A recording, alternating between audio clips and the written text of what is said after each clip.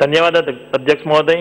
जैसा कि आप अवगत होंगे कि माननीय प्रधानमंत्री नरेंद्र मोदी और जापान के प्रधानमंत्री शिंजो आबे ने सितंबर 2017 में 508 किलोमीटर लंबे 12 स्टेशन वाले अहमदाबाद से मुंबई के बीच बुलेट ट्रेन कॉरिडोर परियोजना की शुरुआत की थी।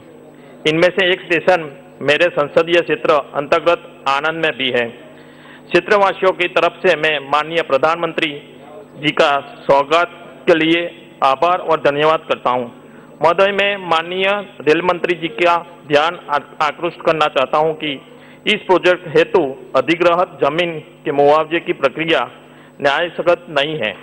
प्रोजेक्ट के वजह से जो उद्योग स्थानांतरित का नष्ट हुए हैं, उसकी पूरी ज़मीन अधिग्रहित नहीं है, नहीं की जा रही है, जबकि भूस्वामी पूरी ज़मीन देने को तैयार है। प्रशासन को जितनी ज़मीन चाहिए उतनी ही ज़मीन वो ले रहे हैं जबकि अधिग्रहण के चलते उद्योगों के नष्ट हो रहे हैं और ज़मीन का भी नष्ट हो रहा है तो पूरी ज़मीन उद्योगों की लेनी चाहिए ऐसा मेरा एक आग्रह है।